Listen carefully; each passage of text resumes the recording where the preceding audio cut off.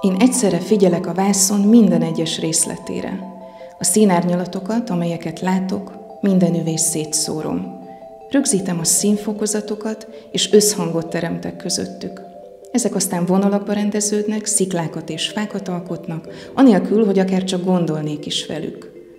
Ha a végeredmény megegyezik azzal, amit a szemünkkel látunk, akkor a vászon igaz, sűrű és teljes. Ha viszont gondolkodom, amikor festek, ha beavatkozom az alkotó folyamatba, akkor hús minden elszakik előlem.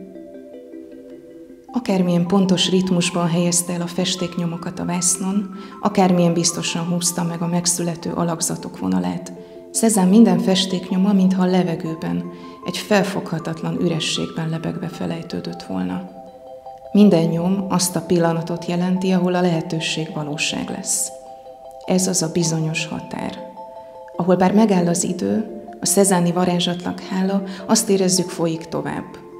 Szezán olyan művész, aki a látszat ábrázolása helyett az előtűnés aktusait tárja elénk. Szezán töprengő keze lelassítja a színek felrakásának ritmusát.